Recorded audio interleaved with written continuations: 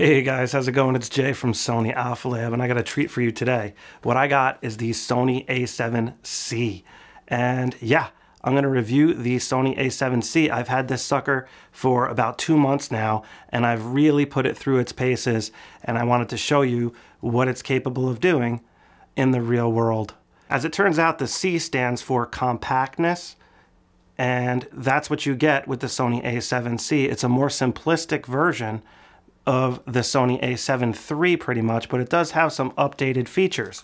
I recommend getting it with the kit lens. Now, I, a lot of you are going to argue that the kit lens is garbage compared to some of the pro lenses, but it's not really garbage at all. It's actually a very good kit lens, in my opinion. The sharpness is excellent, but what's really nice about it is how compact it is. When you have the kit lens mounted, you could still fit it in like a jacket pocket and stuff. And the lens actually, you have to like turn it in order to get it to its actual function. So we have to open it in order to use it. That would be 60 millimeter and that would be 28 millimeter. And that is when it's in its closed position. And you can see from the side that it really doesn't take up that much room you know, for a kit lens. It's it's super compact. Now the Sony a7C goes for about $1,800 and that's a pretty good price in my opinion considering what you get. Now it has the same 24 megapixel sensor as the Sony a7 III, but it does have a bunch of other features that I particularly like. Now, one of them, of course, is going to be the EVF on the side here. It's quite a bit different on this side right here is the EVF. Quite a bit different than the A7 III, which has this, you know, mound on the top and the viewfinder is in the center. Now with this design, you can basically look through like this and your nose doesn't touch the screen. Now it is a smaller electronic viewfinder. And if you are a hardcore viewfinder user, like if you only use the viewfinder, then you're probably going to find that this quality is not as good as the A7 III because it isn't.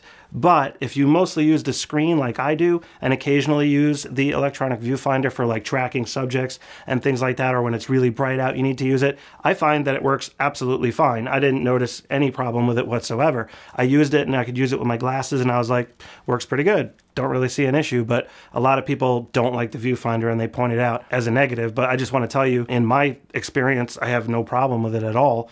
And it's it's pretty perfect for my purposes. Again, I, understand I'm in the minority when it comes to that, but that is what it is. Now, the screen on the back, notice how it is in armor mode right now. So I have the screen swiveled around. That's what's another cool feature of this when compared to the Sony a7 III. The screen swivels out like that, and you could turn it around like so, and now it's basically in selfie mode. So you can see yourself in the screen easily. And then if you close it, now the screen is back on the back exposed, as you can see. So you can put the screen in either way. And I prefer having it in armor mode when not in use just to protect the screen, especially if I'm putting it in my pocket. It's a great feature, so I recommend putting it in that mode um, when it's, you know, out and about and might possibly get scratched somehow, you know what I'm saying? Now for this review, I did use the 20 millimeter f1.8 G lens. I also used the 35 millimeter, which is what I'm going to be filming with in a second, the 35 millimeter f1.8 lens, and I also used the 85 millimeter f1.8 lens for this review. So when it comes to sample photos and sample video, that's the gear that I used. And of course I use the kit lens as well. So let me just cut right here and I'm gonna switch to the Sony a7C with the FE 35mm f1.8 lens and you'll be able to see how the scene changes and so forth as compared to the A6400, which does a really good job in, in my opinion, especially with the Sigma 30 millimeter. So, all right, guys, so I have the Sony A7C in, in front of me now using the 35 millimeter f1.8 lens, and I'm recording in 4K quality, standard profile. I'm not using any S-Log or any of that stuff. I have picture profiles turned off. I'm just using the standard creative style, I should have said. And this is what you can expect to get. Now, I am using a pretty large softbox, a 36 inch softbox with a Godox light, and I have the grid in the softbox, so the lighting is pretty directional. And I, of course, I have the background lights there. I got the blue one lighting up the curtain, and then I have the hair light or kicker light here, which is a, uh, you know, just a LED panel, and then I have a regular light, just a lamp in the background there, just to get some kind of color variety and things like that. So this is what kind of results you can expect when recording in 4K, and it works really good. It has the Eye AF technology while recording in 4K, while also being hooked up to a monitor, which is what I have. I have it hooked up to a monitor right now, and if I look at the screen on the camera, which also stays on while recording, which is really nice, especially when compared to the A6400, which I was previously using. When you record with a monitor, the monitor on the camera goes out, but not on the A7C. So I could see my face on the camera monitor and also on the monitor I have above the camera. And I could see the Eye AF like box on my eye on the camera so I know it's tracking my eye accurately and that's an, a really awesome feature. In particular, let me go over a couple of the key features when the A7C is compared to the A7 III because you might not know which one to get. The A7 III is significantly older and you know you can you might be able to find it used cheaper things like that and it's a great camera there's no doubt about it but there are some key differences for starters we have size and weight the sony a7c is about 20% lighter than the A7 III. You know, that's quite a bit. 20% is is a lot. The A7 III is about 650 grams. The A7C is about 509 grams or so, something like that. Now, the LCD screen on the A7C, of course, swivels out and you can put it in selfie mode. The A7 III just has the tilting screen on the back, so you can't really put it in selfie mode. So on the back of the Sony A7 III, you do have the joystick, which the A7C does not have. The A7 III also has another dial on the front of the grip, and it has three custom buttons as opposed to only one custom button on the Sony A7C. So if you really like those dials and you want more hands-on control, then the A7 III would be a better option for you in that regard.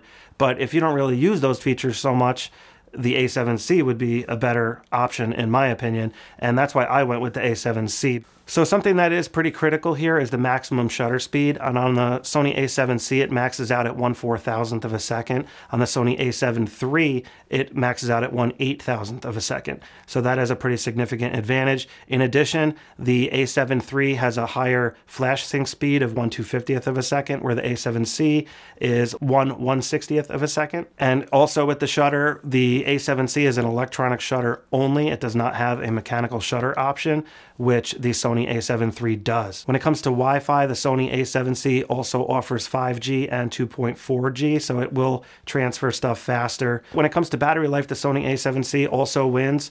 It can get approximately like 680 shots or so as compared to like 600 on the A7 III. The battery is the same, it's the FZ100, so it's just a little bit more efficient on the Sony a7C, so you do get a little bit better battery life. Now, the buffer on the Sony a7C is much larger than the a7 III, so you can get about 115 RAW photos in a row compared to about 89 or so on the A7 III. So that is a pretty significant advantage if you're shooting sports and things like that. Plus, the autofocus is significantly better on the A7C as I'll go over. Another cool thing that the Sony A7C has is touch shutter. It has the ability to do touch shutter. So just going over a couple other things, the Sony A7C, as I showed you earlier, on the top of it, it has a move or record button, um, very similar to the ZV-1. It's in a nice spot, very convenient. I can easily just reach up and hit it. I don't have to like feel around the back of the camera, for example. Um, so I like that new movie button. That's a cool feature. When it comes to autofocus, the Sony A7C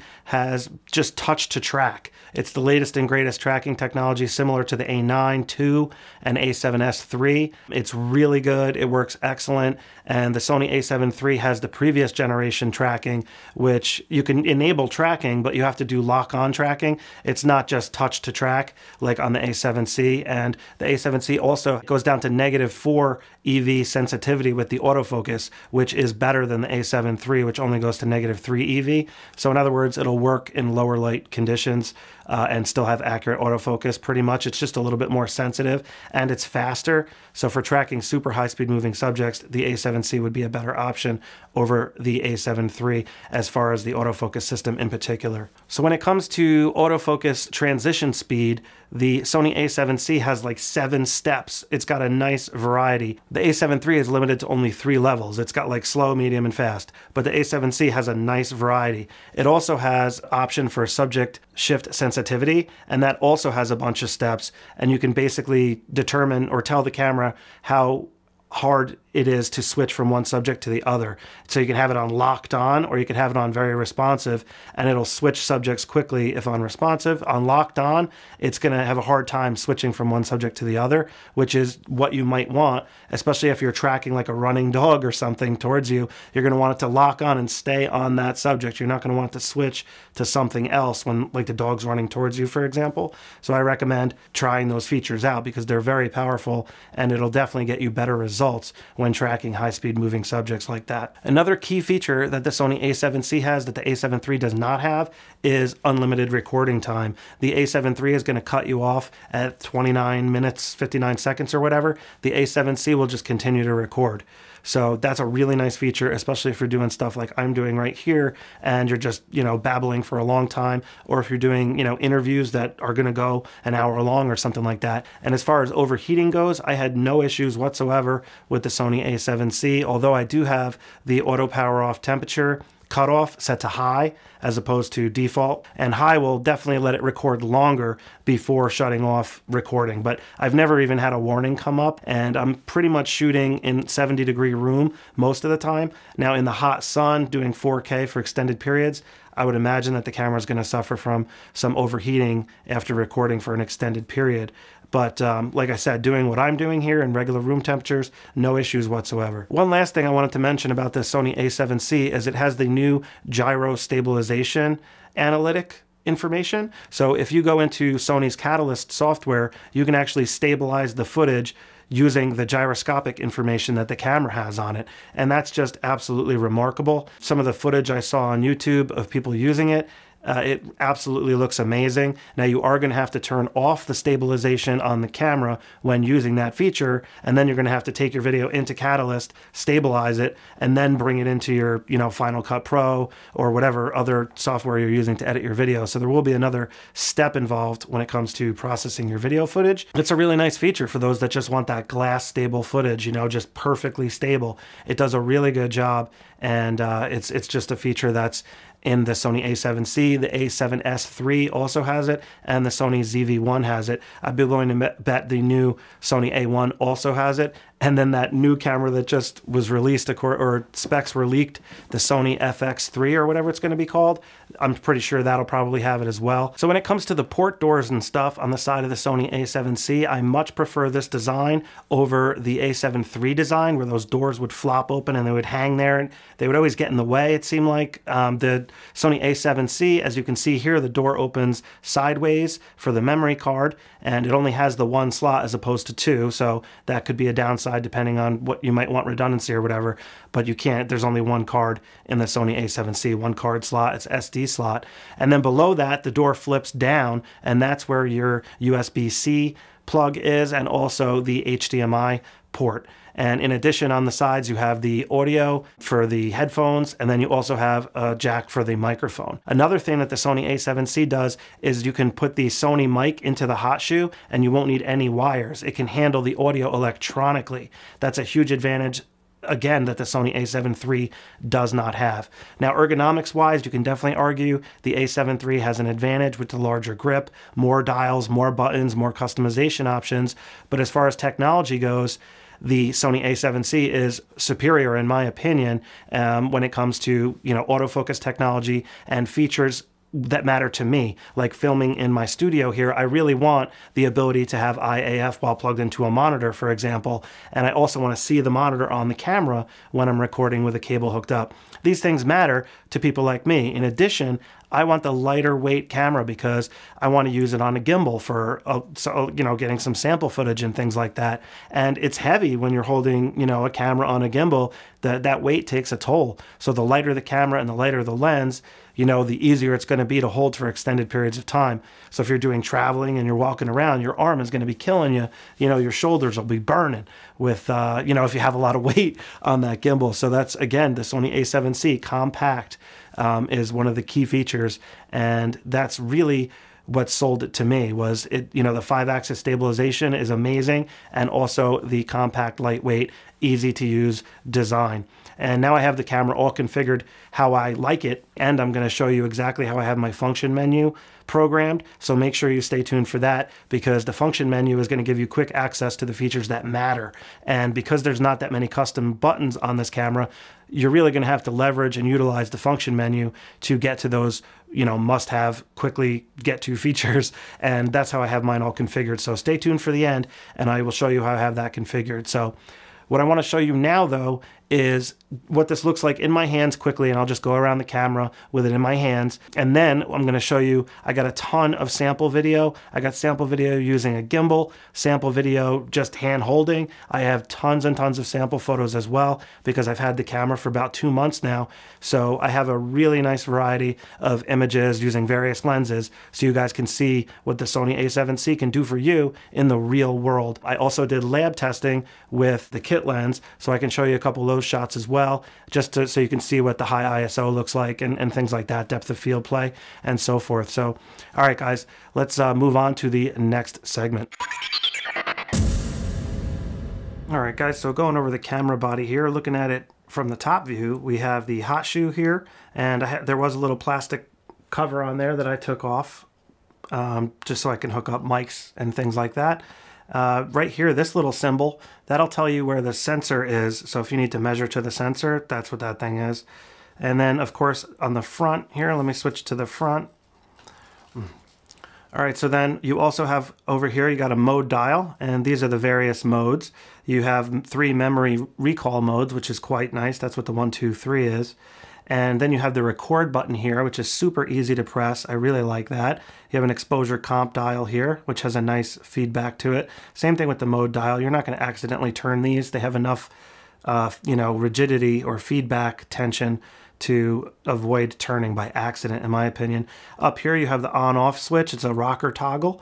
And then you have a nice shutter button there. So you press that to, uh, you know, take a photo and focus halfway. If you press it halfway, it'll focus.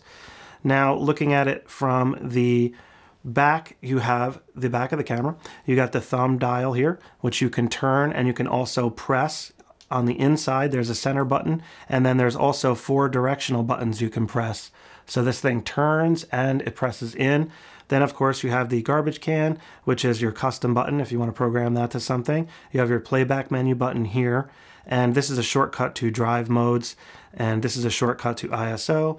This one here on the top will be a shortcut to display mode. And um, then you have your function menu. You have an AF on button, which by default will automatically track whatever's in front of the camera. It's really cool. You got a thumb dial here that you can control, you know, your aperture, shutter speed, things like that, depending on what mode you're in. Over here, you have your electronic viewfinder, and you have a little controller here for your vision, the diopter or whatever it's called. Now here I have the screen in armor mode, which is a really nice feature. I love that feature. But if you swivel out the screen, you can see how it can turn into this mode and you can aim it you can aim the screen up, so if you have the camera down on the ground, you can easily see it. You can also aim it like this, so if the camera's over your head, you can see that. In addition, you can rotate it so it's in selfie mode. So now the camera is basically in selfie mode. And you could then close it back up and use it like a regular, you know, camera with the screen on the back, like you can see here. So I really like to have it in uh, armor mode though, just to keep it nice and secure so nothing gets scratched by accident. Looking at it from the bottom, you have your tripod mount plate there, quarter inch thread, and you also have the battery door here. This is where the FZ100 battery goes. It's got a little blue tab there you can press to release the battery, and then you can uh, just push it in there and it locks into place with that blue tab as you can see there. And now looking at it from the side, you got your port doors and on the bottom here you have your HDMI and you have your headphone jack and you also have your USB-C charging port and or data transfer port. And then if you open up this door, you have your memory card slot in there and you just press like so and the memory card goes in. And notice how the memory card goes. Like so. All right, so then continuing on to the top here is where we have the microphone input right there. So if you're using a microphone with a cord, like the Rode Video Micro, for example, you plug it into the mic port right there. But also the hot shoe can transfer electronic audio as well. If you use one of the high quality Sony mics, you can electronically transfer the sound and it'll go right into the memory card and you won't have to use any cables like on other microphones. Although it does cost a lot of money, but uh, it's great to know that that is a feature and you won't have to deal with cumbersome wires. So looking at the front here, you have the, right here you have so looking at the front, you have the AF illuminator there, which will help you focus in really dark situations. It'll illuminate, but also it'll blink as a self timer and uh, it'll give you a heads up when the photo is about to be taken in self timer mode and things like that. Now, if you unscrew this cap, you will see underneath the full frame sensor. And you can see just how big it is. It's incredible. And by default, with the kit lens, I got the kit lens because I wanted a super compact setup for certain situations. So I went ahead and got the kit lens with this camera and you just hit this button here to release the lens. And all you got to do is line up the white dot with the white dot on the flange like so and then turn it. And I go into more detail on how to do all this stuff in the how-to videos that I have, and uh, those are linked below, and they'll also be linked at the end. I'm just going over it pretty quickly here. But notice how this lens works. This is in the closed position, so if you turn the camera on, it'll say um, open the lens before you can use. So what you got to do is you got to turn the lens like that, and now the lens is in a usable open position. So this would be 28 millimeter, and this would be 60 millimeter and it is a variable aperture, so it's f4 to f5.6 which you may or may not like. That is definitely slower than a fast lens, but it's ultra lightweight and it's also ultra compact and it has the ability to retract like that. And I believe it's worth getting as well as the kit. Even if you don't use the lens that often, it's great for certain situations when you want the lightest possible camera. You'll be more likely to use the camera if it's light and easy to use, in my opinion. All right, so I'm gonna boot this camera up, but first I wanna mount it to a, a little mini tripod here. And check out this little mini tripod I got. This thing is sick. It's really, really high quality. I'll put a link for it down below. But it's metal legs, and these legs actually come out, so you can make the legs even longer. And it's just super high quality precision. This knob here, like it just has this unbelievable dampening on it. And I need to take that off anyways. Here's a little camera plate that goes on the bottom. And same thing with this knob. It's just the dampening feels so good. And these legs have these nice lock levers. You just pull that down and the legs go all the way up. So you can put them in a number of positions. They pre-lock. Really, really nice design. So I'm just going to open it up like this. And I'll put that flat down like that on the desk. And I'm going to mount the plate to the bottom of the Sony a7C.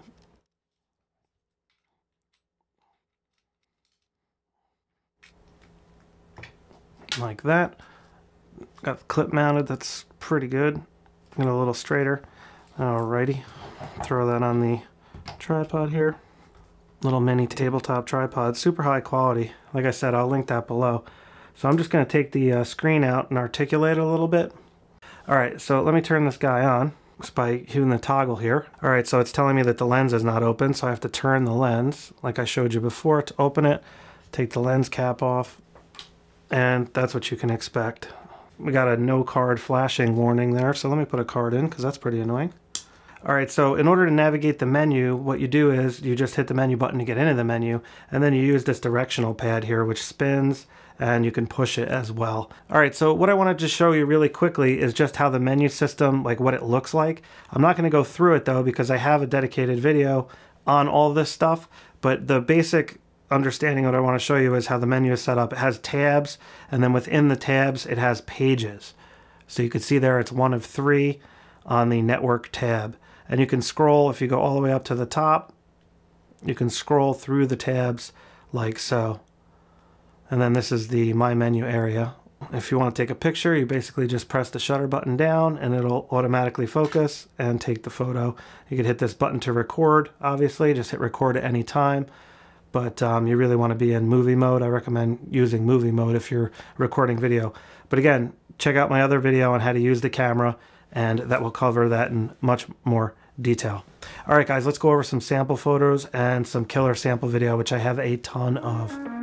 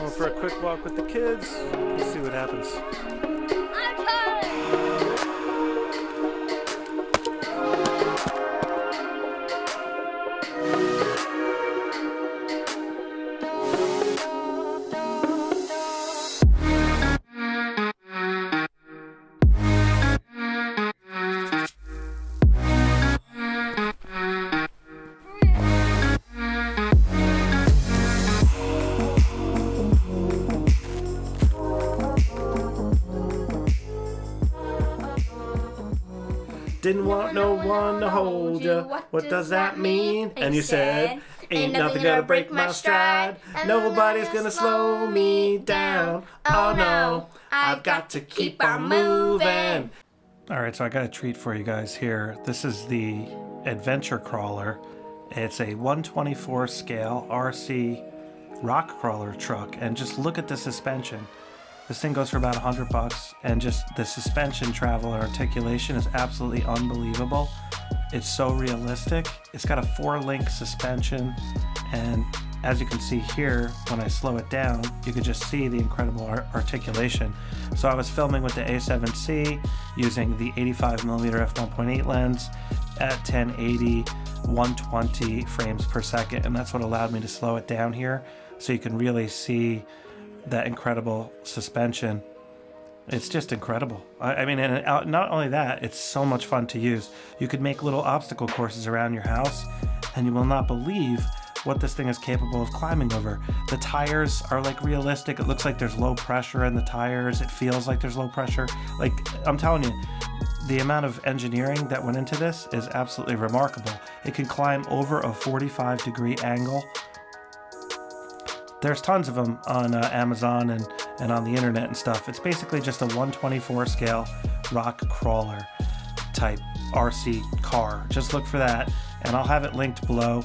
Ain't nothing gonna break my stride. I'm running and I won't touch ground. Oh no, I got to keep on moving. All right, guys, so I just wanted to go over the ISO testing really quick, and I'm going to keep this short and sweet. I'm just going to show you the max ISO, which is a 102,400 on the right hand side here, you can see. And then on the left hand side, this is the lowest ISO, which is ISO 50. So you can see here, looking at the dollar bill, what kind of you know noise degradation and detail retention is happening when it comes to the high ISO. And, and honestly, in my opinion, for 102,000, this is actually really good. You can't quite read the text on the crayons like you can on the ISO 50 image, but you can read most of the stuff on the dollar bill and you still get, you know, a lot of detail. When you look at it from this view, for example, you know, it looks pretty good. I mean, you could definitely see the colors have shifted a little bit in the chart, the Macbeth chart here up on the top. If I zoom in on that, you can see there's a lot of noise and the color did change a little bit. But what I noticed more than anything when in the color shift is on this little bracelet here. You see these red little beads? They turned like I don't even know what. Like the color just disappeared. So I was kind of surprised by that, to be honest with you. And a lot of the shininess from the chrome and detail you lose.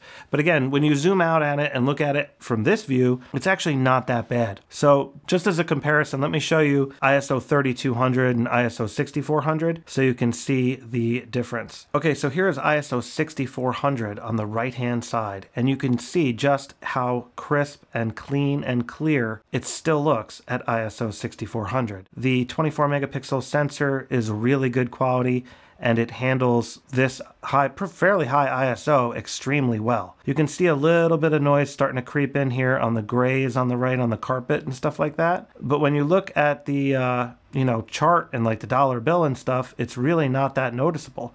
You can see a little bit of noise here on the chart. But again, it, it looks it looks really good at ISO 6400. So this is definitely a usable ISO in my opinion. When I use auto ISO, I basically have the camera set to the lowest 50 or 100 when you're using the auto ISO the lowest you can put it is 100 so I have the low end set to 100 and the high end I have set to 12,800 so 12,800 as you can see here also still looks pretty darn good so this is what I have for like my max ISO when I'm using auto ISO. And you can see the color retention on the bracelet is still very good. and the details on the chart are also looking still fairly accurate. All right, guys, so now we're going to go over the real world photos. And like I said, I have a ton of photos because I've had the camera for a few months now and I used multiple lenses as I described earlier. So what we're looking at here is when I first got the camera, I actually left it in JPEG mode and you can see up here on the top left is the EXIF information. So you have the file type, whether it's raw JPEG or TIFF, TIFF meaning that I edited it in Photoshop, for example. Then you have the shutter speed, the ISO value, and of course below that what lens was being used. So I was using the 28 to 60 millimeter kit lens here for a couple of these shots in the beginning. And like I said in my video about that lens, it's a, actually a really good kit lens and the image quality that comes off of it is, is quite good in my opinion. And then over here on the right hand side is the development panel. So you'll see if I did anything to the photos over here. Most of them are straight off the camera. A few of them I did edit though and uh, you'll see that over here on the right. And also I'll let you know if I did uh, like hardcore editing one way or another. So here's one of my dad with uh, Jasmine likes to lay on his shoulder. This was actually at Thanksgiving, and uh, my brother actually made some killer candy bacon with this thick cut farm fresh bacon that he got. And here's some other hors d'oeuvres, some chips and dip, and just look at that separation you can get. And again, this is that full frame sensor, um, even with the slower lens, like the kit lens here. So I was at 60 millimeter f5.6 for this image and you can and you could see the background separation is still quite good. The ISO is at a thousand but you don't really see any noise or anything. Image quality is really good on this camera. And here's one of Layla holding a piece of that cooked candy bacon now that it's cooked. And again look at that separation. It's pretty darn good. And this is at ISO 2000 and you can see over here on the right I did pull the highlights back a little bit and uh, drag the shadows up a touch some mustard and just another beer in a glass. And again, just looking at that separation, color, clarity, really good. Now here's another one of uh, Jace's toy. It's called Goo Jit Zu. Goo Jitsu. You squeeze these things, they're like they're they're they feel really cool. They got stuff in them, like slime and stuff. But anyway, I pulled back the highlights on this one, and you can see this is what it looked like originally, and this is what it looked like after I did that. I'm just hitting the backslash key to show you a before and after. I'm using Adobe Lightroom here. Here's some more food shots. And I'm just going to scroll through quickly. Here's some uh, delicious stuffing, some twice baked potatoes my dad made, some cornbread. Here's one of Jace. Now this one I did edit. This is an edited image. I took it into Photoshop to edit it. And here is what the original file looked like. So this is the original file and here's the edited file. So the original file, I did do a little bit of adjusting here in Lightroom before I launched it into Photoshop and actually did the editing. But what I wanted to show you was just how amazing this looks. Check that out. And that's incredible. And that's with the kit lens, guys. So it's, you know, it is what it is. Here's one of my neighbor's dog, and I was using the kit lens. This is Caesar. I was using the kit lens for this shot as well. Now I switched the lens to actually the Viltrox 85mm f1.8 lens um, just to get more separation and 3D pop. And you can see here, this looks much more, you know, like professional because the background's really blurry. It's got some nice 3D pop, color clarity, and so forth. And you can see on the right-hand side, I did do a little bit of adjusting. It was at ISO 4000, pretty high on the ISO level. Here's another one. And here's another one. Just playing around at work here. This is another one shot with the kit lens of just some cable. And there's another one looking down, looking down a little aisle. Just zoomed in here on the minimum focus distance. I'm now using the 35mm f1.8 lens so you can see the depth of field is much narrower because I am working with f1.8 now instead of the slower f4 to 5.6 aperture on the kit lens. So that is the advantage of using a faster prime lens like this one. And all this stuff will be linked below if uh, you want to check it out. Here's one of the cool Dodge Charger that I built. I actually have a video about this if you're curious, if you want to watch the build. Really cool Lego project. It's a fairly large car and uh, the engine actually works and stuff. It was a lot of fun building. Uh, here's just one from the front. Look at this thing. Charger. All right, so back over my parents' house, and I just took a picture of the toaster. They got a new toaster. Some spaghetti and meatballs. Gotta love it. Yummy, delicious, always good. My mom makes amazing meatballs and sauce. And uh, I got some killer bread from the bakery. Mmm-mmm. Here's one of Jace. He wouldn't eat the spaghetti and meatballs though, so uh, he had his chicken nuggets. and now we're up to Christmas time. So here we are over at uh, mom's house at Christmas time. And here's a couple of snapshots of the kids. They were having a great time. They got some cool stuff. And Jace got some more of the uh, Goo Jit Zus. And just again, look at this background separation here. You see the Christmas tree, it just butters out into these killer bokeh balls. And just the narrow depth of field, minimum focus distance, all that stuff. I love the 35 millimeter f1.8 lens. Quickly becoming one of my favorite lenses, to be honest with you. I love using it. Here's another one of Layla. I played around with this one a little bit. I actually blurred the edges to draw the eye in a little bit more. So I brought this one into Photoshop. Did a little bit of editing. Here's another one of Layla and her new jammies. Just a cool beer can. I like the way that this one looked. Had a cool design on it. And again, the color, clarity, quality of the Sony a7C that it produces in combination with a killer lens. This lens, I was using the 85mm f1.8 lens, so I was getting more background separation, which is why this looks even more 3D than if I shot it with the kit lens, for example. And here's just another one. Looks really good in my opinion. Here's one of Jace. Got a cool hat. Here's my mom. She was super happy. Got to see the kids. We didn't get. She didn't get to see the kids for a while because of the COVID and everything. You know the deal. Here's one of Layla. These are pretty much straight off the camera raw files, as you can see. So you know the white balance is going, you know, here and there because I have it on auto white balance. Here's one of Jasmine peeking up while we're sitting at the table. There's just a picture of a bunch of pictures on my mom's table here.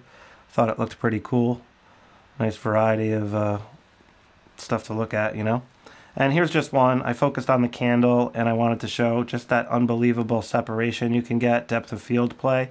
Again, I'm using the 35 millimeter on this particular shot. And I did crop the image and I played with the highlights and the shadows a little bit over here. But you can see just that unbelievable image quality on this camera is great, especially when paired with a good lens like the 35 millimeter. Here's some mashed potatoes and here's some green beans looking really delicious and fresh. And my brother made this absolutely incredible braised short rib, the best I've ever had in my life. It was absolutely unbelievable. It was so savory and rich um, the you know the process. I don't know. It took hours and hours to make using Dutch oven and searing and all sorts of other stuff. Now I actually made these killer mini Philly cheesesteak type sandwiches, and I actually took a whole bunch of video footage showing you how I made these. So let me just cut to that quick and let's watch the video footage so you can see how I made these delicious Philly cheesesteaks. So, you know, if you want to make them yourself, you can make them yourself. They came out unbelievable. I always like to use the cast iron pan. It's my favorite. Set that burner up there. Cutting up some peppers. And just got to dice them up into strips. As you can see here. There's the peppers. And I got some mushrooms here. A little bit of avocado oil. Get that burner heat at the right temp. And uh, gotta just saute the vegetables little slow-mo action. I recorded at 120p for this segment here so I could slow that down. And I was basically just point and shooting recording video here. Not really too much to it. I was just using the touch to focus to set the focus point where I wanted it. Now I got these Hawaiian rolls. Delicious. They're sweet rolls. They're a little bit sweet. Got a big Pyrex dish here. And here is the strip steak. Just kind of slice it up into, you know, just basically want to shave it as best I can, but I'm using a knife, so I can only shave it so well. Really wanted it like paper thin, but you know, this is really the best I can do, what I had to work with.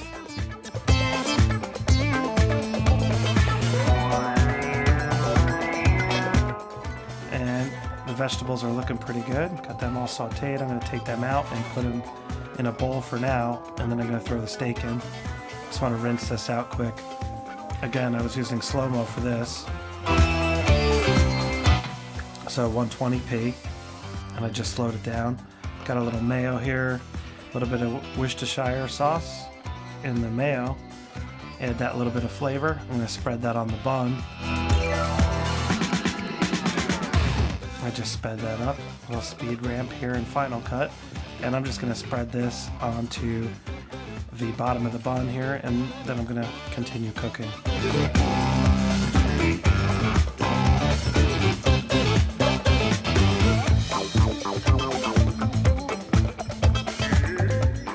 That steak into the pan.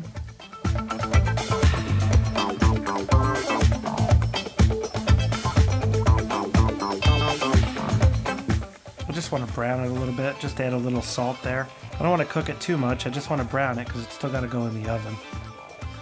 So I'm just going to stir it around, add a little garlic powder here, a little extra flavor, you know the deal. Layers of flavor is what I'm going for.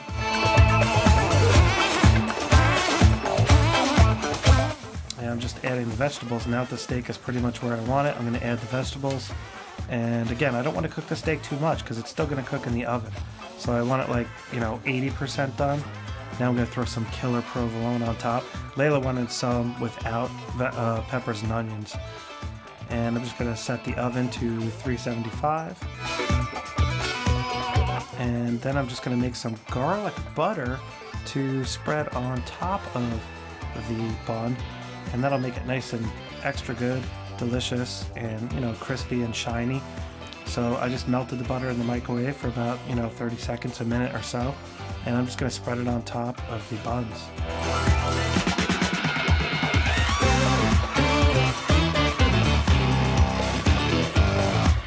Look at that. Unbelievable. Now I'm going to throw some foil over it and put it in the oven.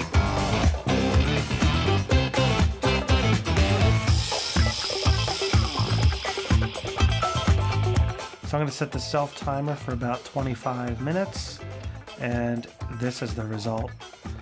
And I'm just taking the foil off and I actually put it in the oven for a couple of minutes without the foil just to make sure that they were extra crispy on the top and this is what they look like. I mean, come on.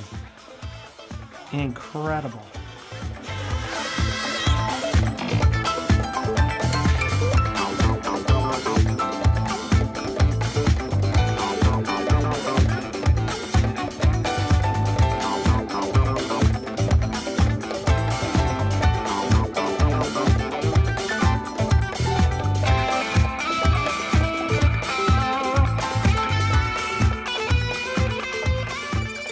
Right, so moving on here, headed over to my favorite local restaurant, fairly local restaurant called Eddie's Roadhouse in Warwick, New York. And here's just a picture of the street walking to the restaurant. And I just thought this image came out fantastic. It just has that magical full frame, you know, 3D pop, lighting, background. I mean, it just has all the elements that I like to see in uh, cool street photography, and um, it just came out cool. I, I, thought it looked good, so I wanted to uh, show you that shot and explain it a little bit. Here's one inside Eddie's restaurant. We're sitting at the bar, me and my brother, and we got trivia night, all sorts of cool stuff to look at in this restaurant. And here's just a picture of killer sandwich on the uh, on some foil. It's got that cool depth of field background blur, which is why I took this shot the lighting wasn't the greatest for the for the actual image of the food but and here's just a gentleman playing on his phone. This is taken with the 35 millimeter f1.8 lens. And again just look at the detail. Depth of field is very narrow so you can see the you know sharpness is limited to just the face area. And one cool thing about Eddie's one of the reasons why I like it so much um, there's no TVs and they everybody brings like sample beer and stuff. So when you sit down at the bar, they will they'll break out like a beer from the uh, beer cooler, and they'll just pour these little samples for everybody sitting at the bar. So if you're sitting there, you order a drink and stuff, you're having a good time, and then all of a sudden a sample will come around, and you get to try something different that somebody might have brought from out of town, out of state, whatever. It's really really cool experience, and you just end up talking to people because there's no TVs and stuff. So you end up having good conversations. Everyone's always cool there it is definitely the best restaurant around in this area, and it's in Warwick, New York. I highly recommend checking it out. Really, really good stuff. All the staff is great and everything, and that's what it looks like from the street on the front there on the sidewalk. And I actually went back another day. This one, like I said, this is over the course of a couple of months, all these photos, guys. So this time I went with a 20 millimeter f1.8 G lens So we're going to get a wider view compared to the 35 millimeter lens. And here's one of the bar. Here's one of the menu. Now I just wanted to show you over here this on the menu, this three-way pig play. That's what I got for my uh, meal. So you'll see that in a second. And it's cider, brined pork chop, shaved pork tenderloin, pork belly, fried rice. I mean, are you kidding me? Pork belly fried rice? How could you not get that? And they have these cool taps. I love these taps where they make them out of the old metal wrenches and stuff. They look so cool. Got some fried calamari as an appetizer with these three dipping sauces. So look at that calamari. Look at that crisp. And notice, even with the 20 millimeter, the depth of field is extremely shallow, even though it's a really wide angle lens. But it's great for stuff like this. If you want a wider angle view and you're taking food photography because you want to incorporate a little bit more of the restaurant, for example, 20 millimeter is a great option. Normally I would use the 35 millimeter for shots like this. But again, if you want a wider view, um, you can go with the 20 millimeter. And you could notice you do get a little bit of distortion with the 20 millimeter. You can actually see it on this pint glass in particular. And that's just because it's such a wide view. And same thing with this can here. This beer was absolutely unbelievable, by the way. It tasted like a passion fruit. I don't know. It was unbelievable. I've never had anything like it. Um, but you could see the can is fairly distorted because I was so close to the can using such a wide angle lens. Now here is that pig play that I got for my meal that I showed you on the menu before. And just look at this. I mean, come on. Absolutely amazing. Bone in pork. Look at that. Oh, man. This is what my brother got. He got the shrimp sandwich, and it was also delicious. Here's a picture of the pork chop. Look at that pork chop. Here's a bite I got on my fork, and you can see just like how it's, you know, braised on one side or seared, whatever you want to call it, that juicy rice. It was nice and spicy and savory. I'm telling you, it was one of the best things I've eaten in a while. Every time I go to Eddie's, I try to get something different. There was actually pineapple in there. It's a chunk of pineapple. I mean, it was ridiculous how good it was. Now, getting up more towards recent times, this was just the other day outside playing with the kids, and I strapped on the 85 millimeter. We got a lot of snow the other day, and uh, I blew all the snow with the snowblower into this big mound, and uh, the kids and some neighbors were playing, having a great time. You could see him here having some fun. Here's one of Layla, and here's one of the neighbor. Here's a couple more of Jace. And I just froze the action. They were throwing some snow up, and those are always fun shots in the winter.